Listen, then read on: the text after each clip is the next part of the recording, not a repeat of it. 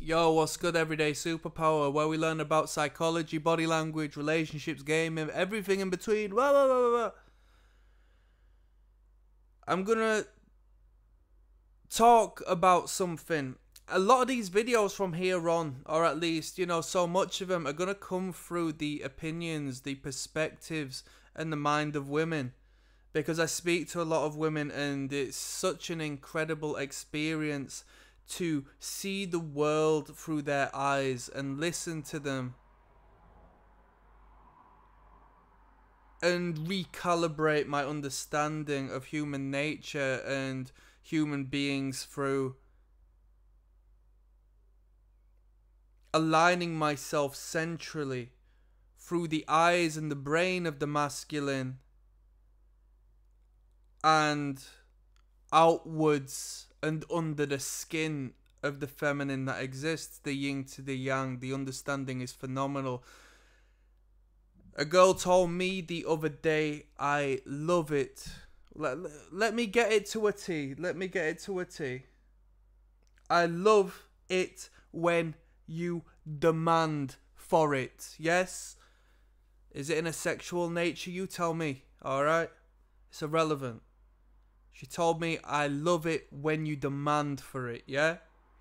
Of course, you need to create a space as to which it is safe and secure for you to do so. You can't run out of the, um, you know, the starting gate per se and start being Bobby Big Bollocks and just creating this uncertain, nervous energy and this bold, brash, um, assertive character within the first moment. There needs to be some security and comfort established within your relationship.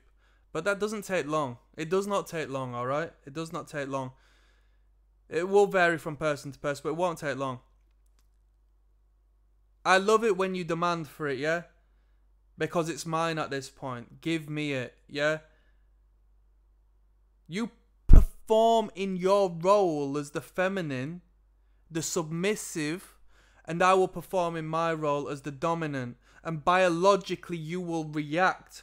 And I do not care whether this woman is in a masculine frame, believes she is a masculine entity, just abides by this worldview that she has to act in a particular manner. There is something deep down inside of her, animalistically, that correlates with the vice versa as much as you might want to meet her halfway, if she's like in this extra masculine space, you might have to dumb it down and feminize yourself a bit, or go even more, more, more, more overt with your masculine energy, uh, which can be exhausting. It can be exhausting. At the very foundational level, that's a woman and that's a man.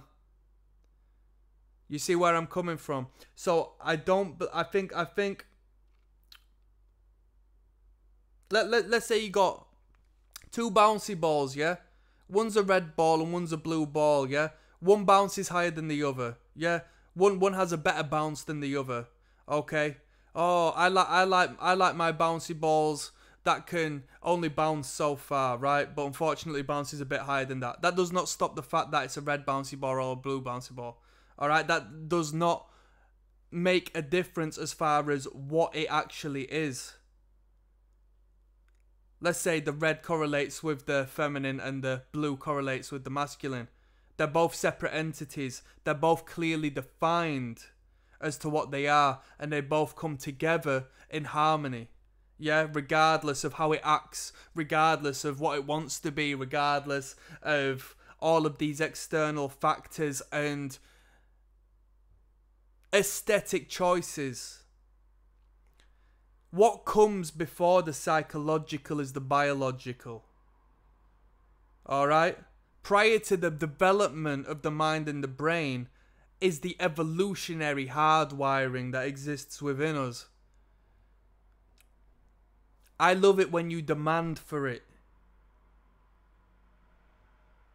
You learn to say and ask and take things when necessary. You don't jump in there. You make a few mistakes and they'll say, bloody hell, what are you saying that about? I went on a date. We were speaking. She goes to me. We're talking about the workplace. I like. I say I like entrepreneurial eff- efforts outside of the workplace. Um, not too fussed about having a boss, this, that, and the third.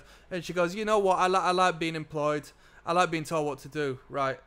I didn't have to respond to that. That's that's good news to me. Right. Brilliant. That's good. Later on in the day, we go to the bar. She's there looking at it, being indecisive about what she wants to drink. I'm saying, What do you want to drink? Because I was buying it first round. I thought, All right, cool, cool. I'll put my card out. And I say to her, What are you getting?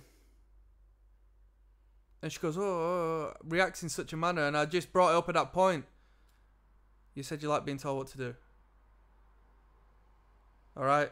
I'm going to dictate to you, make a decision, make a choice. I'm not going to sit here forever. You're indecisive because you want me to take the lead. Indirectly, it might be a biological shit test to see where I stand. If I'm going to exist there for five minutes, uh, I don't know. Why don't you pick your your favorite drink? What do you like? I mean, we can meet halfway to some extent, but sometimes it's not worth it, and sometimes you need to know when it's going a bit too far and when you can settle the issue in a positive manner, when you can sort of step outside of that boundary you've created just ever so much, just to push it a little bit, because you know you've got a, uh, a safety net there. My safety net was earlier on. She told me that. So when she reacted, just like, oh, I just said you you said you like being told to do. Boom, it's a turn on. I've paid attention. I've got attention to detail. Yeah. I can demand for it because she has overtly, or not overtly, indirectly, obliquely told me that I can demand for it if she likes a boss, if she feels comfortable with a boss, if she feels comfortable with an authoritarian figure sort of looking after her and guiding the way, I'll be that person. It's it's I was going to say it's a deep game, but at this point in my life it's not even a deep game, it's self-explanatory. Stop looking at the world through the eyes of a man. It's not the case. Look through the world, look through the eyes of a woman. Yeah, if you're a salesperson, look at the world through the eyes of your consumer. Yeah? I love it when you demand for it. The man who demands for it isn't sheepishly waiting around for her to take direction and for her to put herself forward and for her to make the action. It's not going to happen. It's not going to work like that through so many different varieties of reason. First and foremost, she's a woman. She's not going to do that. You're a man. You should do that. Secondly, she wants to see some degree of leadership in you. It's going to be tough for her, or it's going to be desperate for her to get in a relationship with you or genuinely feel some sort of attraction to you if you are consistently pedestalizing her and placing yourself below her. Because although that might be what she wants, given her worldview, appreciates that. Biologically speaking, unconsciously speaking, what happens if you're going to be below her? She can take her feet and walk all over you. Yeah? It is what it is. Is she supposed to protect you as well? Because as the weaker sex, as the fairer sex, she's not going to be able to do so. As somebody who runs on estrogen as opposed to testosterone, it's going to be a little tougher for her to look after you and lead you in that regard. So we can all say, yes, yes, yes, everyone's the same and everyone's equal and this and that. But we do have some separate characteristics and chemical balances. Yeah? And when we accentuate and make known safely where we exist, we can allow them to feel comfortable where they exist. The pieces will fall naturally. We might have to orchestrate it because the world we live in tries to confuse you and tries to manipulate you into believing otherwise. But when we learn who we are and how we should be, and it starts to make sense and we start to see the positive reaction and feedback through the world we exist in through the women we communicate within it just becomes second nature purely as Why would you do anything else? When you go to the gym and you learn how to squat, yeah? You never squat in an inappropriate manner again because it establishes the right motion. And to do it incorrect is to potentially harm yourself. We don't want to hurt ourselves. Our body doesn't want to hurt ourselves. So we start to work around incorrect form and we start to execute perfectly each and every time the more and more we do it. I love it when you demand. So go forth and take what you want, man. On that note, I'm signing out. Two links down in the description. One of them will take you through to my YouTube playlist, the catalogue of body language, right? You'll learn how to read people purely through observing the videos there. I'll see you on the flip side. Click subscribe. You know we got game here consistently, yeah?